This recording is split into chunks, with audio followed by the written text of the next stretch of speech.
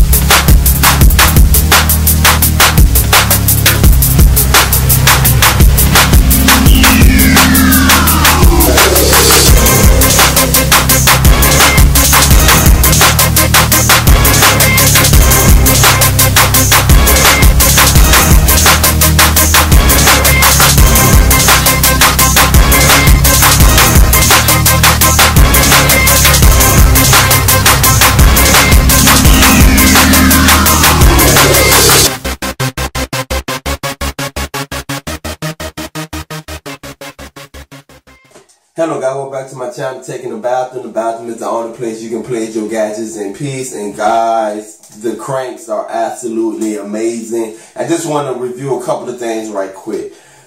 To be honest, I was a skeptic. I was like, these headphones are too small. These ear cups are too small. But actually, you could adjust it and put it right, right into the center of your inner ear, right over the center, not into, right over the center of your inner ear. And it really, man, the sound of these things is unbelievable the the cushion on the headband, the cushion on the ear cups, man, is just wonderful. The, the overall design is just wonderful. But back to the sound. Once I put these things on and have them adjusted, it clamps on your head, but it don't have like this horrible headache like clamping power. It, it don't have that, people. I don't know if it's the cushions or what, but it clamps enough to where it stay on. You see me working out. They did not come off of my workout, so they stay on. They, they're, I mean, they're absolutely amazing as far as like wearability. You can wear these things for a long period of time. That workout right there is about two hours and the cartilage on my ear was not hurting. The sound, I was like, how can they justify the price for these little bitty headphones? But this sound is amazing. This, people, how many, how many sets of headphones have I reviewed on my channel? These are some of, I mean, it's up there with the best. It's up there with the best. I mean, the bass is very deep. The highs is very clear. The mids is very clear. The sound is very loud.